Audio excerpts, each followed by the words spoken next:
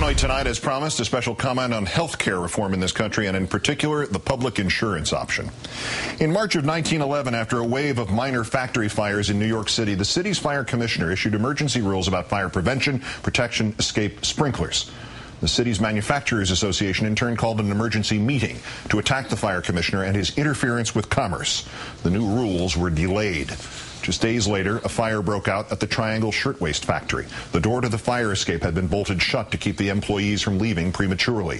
150 of those employees died, many by jumping from the seventh floor windows to avoid the flames. Firefighters setting up their ladders literally had to dodge the falling, often burning bodies of women. This was the spirit of the American corporation then. It is the spirit of the American corporation now. It is what the corporation will do when it is left alone for a week. You know the drill.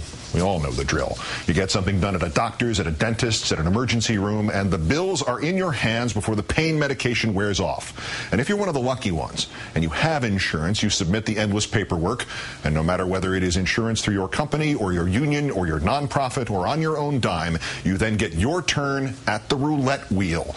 How much of it is the insurance company going to pay this time? How much of it is the insurance company about which you have had next to no choice and against which you have virtually no appeal? How much is this giant corporation going to give you back? What small percentage of what they told you they were going to pay you will they actually pay you? You know the answer, and you know the answer if you don't have insurance. But do you know why that's the answer? Because the insurance industry owns the Republican Party. Not exclusively. Pharma owns part of it too. Hospitals and HMOs another part. Nursing homes, they have a share. You name a Republican, any Republican, and he is literally brought to you by campaign donations from the health sector. Senator John Thune of South Dakota you gave that Republican rebuttal to the president's weekly address the day before yesterday. You said the Democrats' plan was for, quote, government run health care that would disrupt our current system and force millions of Americans who currently enjoy their employer based coverage into a new health care plan run by government bureaucrats. That's a bald faced lie, Senator. And you're a bald faced liar whose bald face happens to be covered by your own health care plan run by government bureaucrats. Nobody would be forced into anything, and the public insurance option is no more a disruption than is letting the government sell you water and not just Poland Spring and Sparkletts. But as corrupt hypocrites go, Senator, at least you're well paid. What was that one statement worth to you in contributions from the health sector, Senator Thune? $5,000? 10? We know what you are, sir. We're arguing about the price. What about your other quote? We can accomplish health care reform while keeping patients and their doctors in charge, not bureaucrats and politicians. Wow, Senator, this illustrates how desperate you and the other Republicans are, right? Because, Senator Thune, if you really think bureaucrats and politicians need to get out of the way of patients and their doctors, then you support, obviously, a woman patient's right to get an abortion. And you supported Michael Schiavo's right to take his wife off life support, and you oppose bureaucrats and politicians getting in the way, and we'll just mark you down on the pro-choice list. That's a rare misstep for you, Senator Thune. No $12,000 payoff for that statement. I'm not being hyperbolic, am I, Senator, about the money? Senator Thune has thus far received from the health sector campaign contributions, and all these numbers tonight are from the Center for Responsive Politics. Campaign contributions amounting to $1,206,176. So much for Senator Thune. How about Congresswoman Ginny Brown Waite? Good evening, ma'am. You are the Florida representative who claimed on the floor that Democrats had, quote, released a health care bill which essentially said to America's seniors, drop dead. Now, those are strong and terrorizing words. That's exactly what your insurance and medical overlords wanted to hear.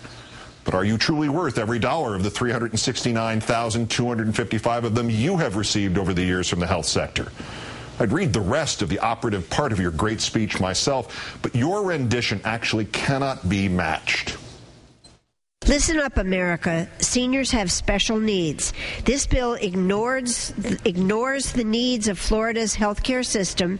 We should be fixing what is broke, not disseminate disseminating decimating the care of our senior population. You can always tell, can't you, Congresswoman, when the hostage is reading her own ransom note and when she is reading one written for her. So much for Congresswoman Brown Waite.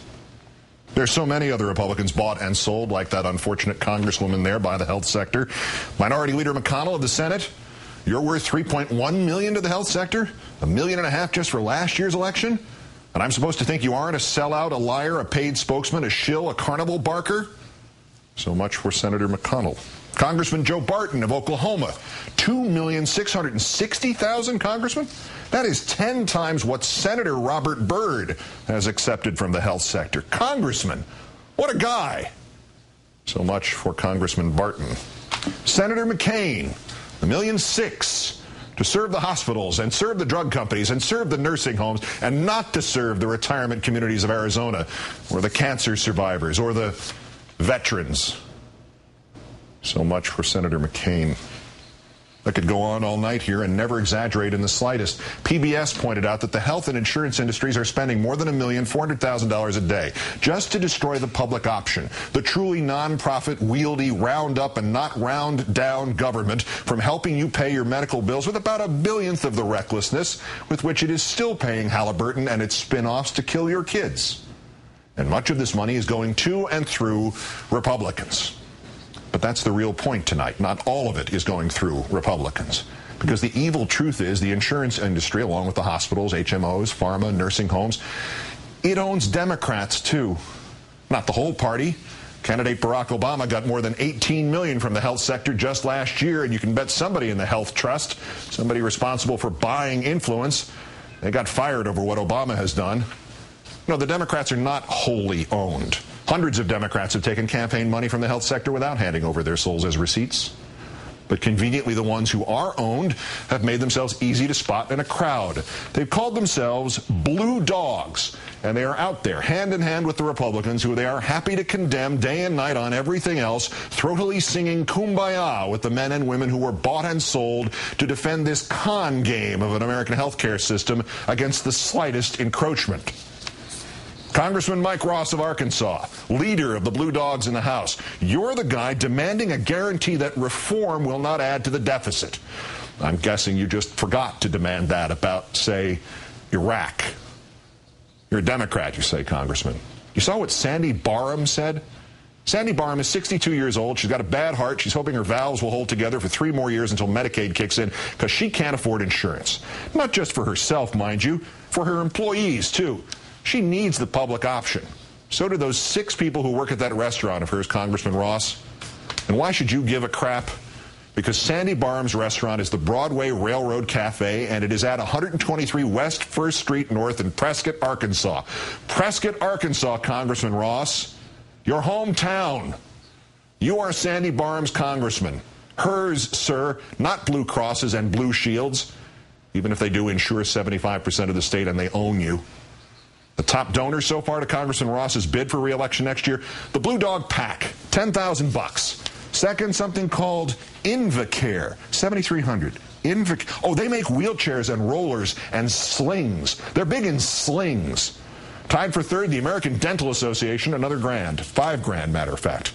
Your top donors by industry, Congressman Ross, health professionals, 29,250, then pharma and health products, 12,250. And so far in your career, Congressman Ross, your total haul from the health sector is 921,000. That is 90th in the combined list of donations for the House and the Senate, sir. 90th out of 537. You should be proud, Congressman.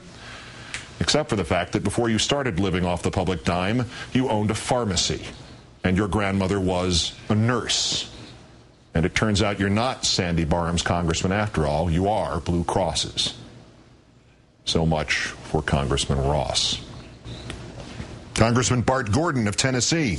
Congressman, undecided on the public option at a million one hundred seventy-three thousand in donations from the health sector. I'm surprised. You should have already said no and loudly. The only thing you should be undecided about is whether or not you're really a Democrat. So much for Congressman Gordon. Senator Max Baucus of Montana. Good evening, Senator. So you're supposed to be negotiating all this out with the Republicans and the hesitant Democrats to gain bipartisanship with a wholly owned subsidiary of the health sector. Bipartisanship that will get you what? A total of no votes? And your price has been, let's see, $414,000 in donations from the hospitals, $667,000 in donations from the insurance companies, just over a million from Big Pharma, million three hundred grand from other health professionals, and 237,000 from nursing homes.